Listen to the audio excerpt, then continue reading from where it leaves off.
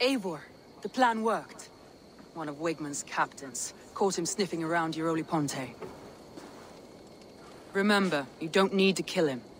Have fun. I'll be planning our next move in the Longhouse.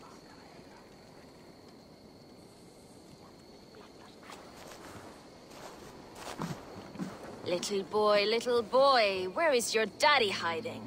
Godless heathens. Grantebridge is the province of Lord Wigman of Walden. The city is right...